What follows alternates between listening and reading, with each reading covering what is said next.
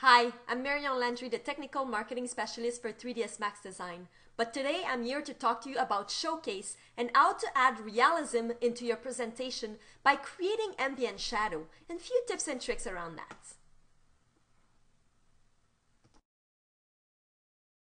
When working with Showcase, one thing that is really nice and will add realism is ambient shadow. Right now I have a model that I've loaded from a DWG file and I have applied few material on it. Okay, it's quite basic for now, but some objects look like they are floating. So you see here it's really hard to understand where these two objects are meeting. Now I have loaded two different scenes to compare and show you the difference. The, my second scene here do have ambient shadow and the reason why it's much easier to understand is because there's some sort of dark shadow that is represented where these two objects meet. To help you understand, I'm going to display only the ambient shadow. So I'm going to go ahead in the scene menu, show ambient shadow only, and you'll see what the ambient shadow is all about. So you see that it's creating area of darkness where there's where the models are meeting. So this is happening in real life. Basically is when two objects are meeting, it creates a darkness, not necessarily a shadow that is created from a sun or a source of light, but a shadow that is created from the proximity of two objects.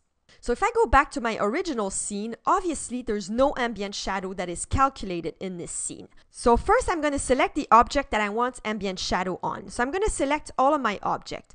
Now that I think about this, I don't want all my objects selected because ambient shadow do not exist on transparency objects. So where there's glass, there's no ambient shadow. So let's just select the object that I want ambient shadow to be calculated on.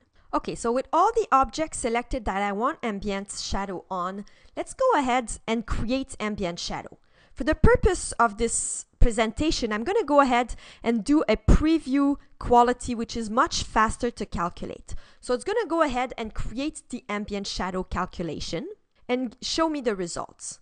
Now, the result is not really what I'm expecting. If I'm comparing both scene, this is not really what I want. What is happening here, and it's all black, so basically, in order to create an accurate ambient shadow, your face's orientation is quite important, which is a concept that is not really important in AutoCAD. So when I created my object in AutoCAD, the face orientation did not really um, make any difference. But here in Showcase, it does. So to solve this problem, I'm going to remove the ambient shadow and I'm going to press the F2 key and this is showing me basically the orientation of my faces. So there's so the faces that you see in gray are well oriented and everything that is yellow is facing the wrong way. So by selecting my faces and pressing F3, I will be able to rotate these faces to the correct orientation. So I'm going to go ahead and examine my model and really or and really turn the faces in the correct orientation to make sure that my ambient shadow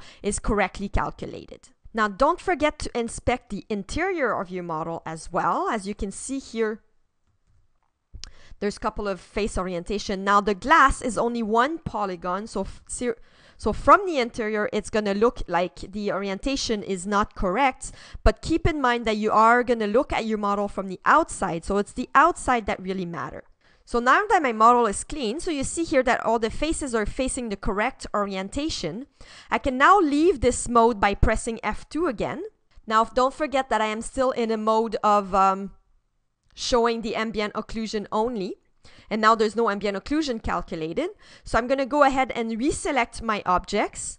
In order to deselect some object, you can press the control key to deselect certain object in your scene.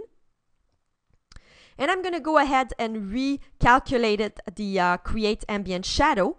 And I'm going to go ahead and use the fast quality again, just for the purpose of this demonstration. I want a fast uh, ambient occlusion. But for a final presentation, I would definitely use uh, higher quality, for uh, example, the exterior quality, which renders a lot slower, but that gives me more refined result without this little noise that you'll see in this really fast ambient shadow. So now I have a much nicer result. As you can see here, it is really easy to understand uh, these objects that are showing and now I'm in on I'm still in the mode of showing ambient, only the ambient shadow. Now the difference in between the fast calculation, you can see there's a little bit of noise here where the high quality will give me a really nice and smooth uh, calculation.